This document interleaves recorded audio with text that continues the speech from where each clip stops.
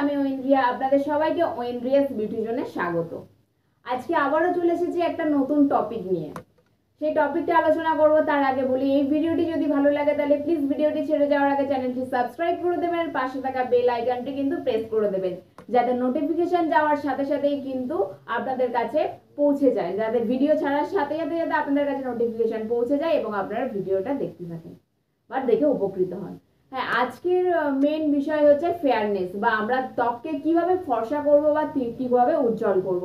হ্যাঁ এখনকার দিনে আগে, এখন হয়তো অনেকেই বলে যে কালো তো কি হয়েছে বা অনেক সময় অনেক জায়গায় কিন্তু এই গায়ের রং নিয়ে অনেক সময় মেয়েদের কিন্তু কথা শুনতে হয়।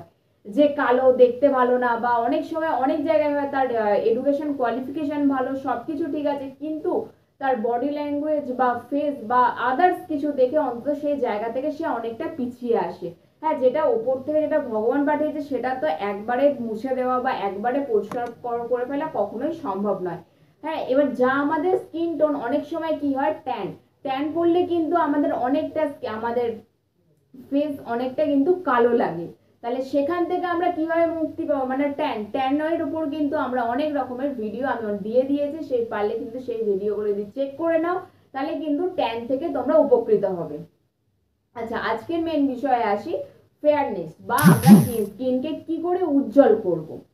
আচ্ছা আমরা সবাই জানি যে স্কিনকে উজ্জ্বল করতে মধু হলুদ চন্দন এই তিনটে কিন্তু খুব ভালোভাবে কাজ করে স্কিনের ওপর এটা কিন্তু সবাই ইউজ করতে পারে যাদের ড্রাই স্কিন যাদের নর্মাল স্কিন যাদের সেন্সিটিভ স্কিন এগুলো কিন্তু সবই প্রাকৃতিক উপায় এর মধ্যে কোনো রকম মার্কেট চলতি কোনো প্রোডাক্ট নেই, তাই জন্য কিন্তু স্কিনের ওপর মানে স্কিনে ক্ষতি হওয়ারও কোনো রকম চান্সও নেই। তাহলে আজকে কীভাবে আমরা ফেস প্যাকটা তৈরি করব সেটা নিয়ে আলোচনা শুরু করা যাক। আচ্ছা চন্দন এতে লাগছে যাদের মধু অনেকের স্কিনে আছে, মধু মাগলে হয়তো স্কিনে র্যাশেস বেরোয় বা অ্যালার্জি হয়, তারা কিন্তু মধুটা স্কিপ করে সে জায়গায় ভিটামিন ইও ইউজ করতে পারো। আই মিন ভিটামিন ইর যে ক্যাপসুল আছে, সেটাও কিন্তু ইউজ করা যেতে পারে। তাহলে আমরা আগে যখন আমাদের কাছে কোনো ফেয়ারনেসের যখন মার্কেট চলতি প্রোডাক্ট ছিল, তখন কিন্তু আমরা চন্দনের ওপর অনেকটা ডিপেন্ডেন্ট থাকতাম। তাহলে এই ফেস প্যাকটা তৈরি করার জন্য কী কী লাগছে? চন্দন লাগছে, হলুদ লাগছে। হলুদ কিন্তু অবশ্যই রান্নার হলুদ না, যে হলুদ আমাদের কাস্তরি হলদি, যেটা আমরা অনলাইন স্টোরেও অনেক সময় পেয়ে যাব, বা যে কোনো কসমেটিক্সের দোকানেও কিন্তু এখন ভালোভাবে অ্যাভেলেবেল আছে কস্তুরি হল- হলদি পাউডারটা আর লাগছে মধু। আগেই বললাম যে মধু যাদের স্কিনে শুট করে না, তারা কিন্তু এটা স্কিপ করে ভিটামিন ই ক্যাপসুল কিন্তু ইউজ করতে পারে। এই তিনটে ফেস প্যাক আগে এই তিনটে উপকরণকে ভালোভাবে আমরা মিশিয়ে নিয়ে ফেস প্যাক তৈরি করে নেব। আচ্ছা আমি আগে প্রচুর ভিডিওতে বলেছি যে কোনো ভিডিও যে কোনো ফেস প্যাক অ্যাপ্লাই করার আগে স্কিনটা কিন্তু অত্যন্ত জরুরি পরিষ্কার করার। যদি আমাদের স্কিনটা পরিষ্কার না করে আমরা ফেস প্যাকটা লাগাই, তাহলে কিন্তু স্কিনের ভিতর অবধি আমাদের ফেস প্যাকের যে গুণাগুণগুলি আছে, সেগুলো কিন্তু যায় না। তাই ওপরের ত্বকে মানে স্কিনটা যদি আমরা পরিষ্কার না করি, তাহলে কিন্তু ওপরের স্কিনের যে ফার্স্ট যে লেয়ারটা আছে, তার মধ্যে কিন্তু অসংখ্য ধুলো থাকে, যেগুলো ধুলো বালি থেকে থাকে, যেগুলো পরিষ্কার না করলে কখনোই ফেস প্যাকটা কিন্তু আমাদের স্কিনে ডিপলি যেতে পারে না।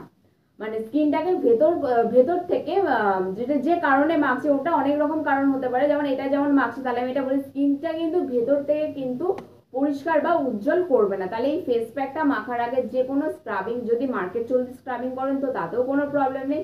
স্ক্রাবিং অর ফেস ওয়াশ বা দুটোই যদি করতে চান, তাহলে তো খুবই ভালো হয়। করে নিয়ে, ভালো করে যদি ফেস প্যাকটা অ্যাপ্লাই করা যায়, করে অন্তত শুকানো অবধি মানে স্নান করার আগে যদি এটা করেন, তাহলে শুকানোর জন্য কুড়ি মিনিট রেখে দিয়ে ভালো করে যদি ঠান্ডা জলে মুখটা ধুয়ে নেন, তাহলে কিন্তু আমাদের এটা যদি কন্টিনিউ আমরা যদি সপ্তাহে দুদিন তিন দিন যে যেমন সময় পাই, সেইভাবে যদি করা যায়, তাহলে কিন্তু স্কিন আমাদের ভেতর থেকে ফর্সা হবে বা skin কিন্তু উজ্জ্বল হবে।